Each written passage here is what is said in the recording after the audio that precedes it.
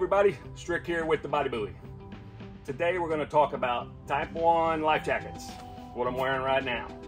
Coast Guard requires Type 1 to have 22 pounds of buoyancy, have this reflective tape you see here, and be a bright color such as the orange one that I'm wearing.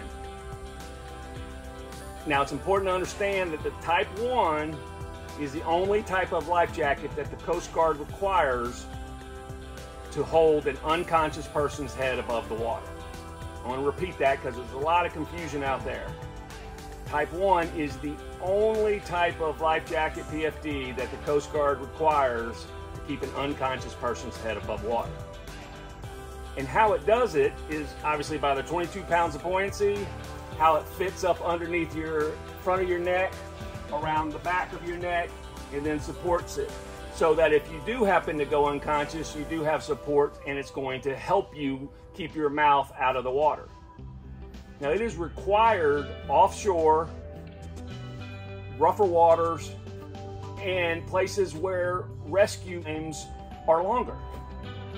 And let's keep that in mind, right? So, if the rescue times are longer and you're in rougher water, the chances of you becoming unconscious increase.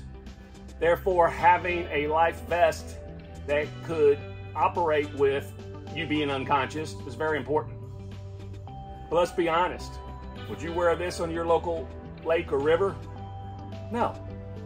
Nobody does. Y- y'all have been there, y'all have seen, nobody wears these. Why? Because they're not comfortable. They're bulky, they fit on your neck, they vibrate around, they move, they're hot, get sweaty. They're just not a good fit for a day at the lake or river.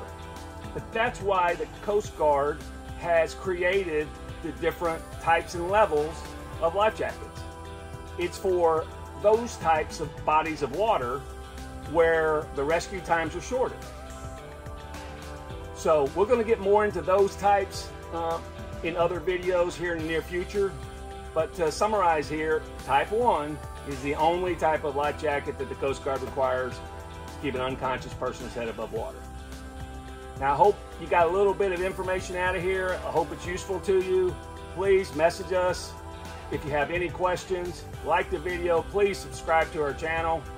And as always, remember, life is water, enjoy it.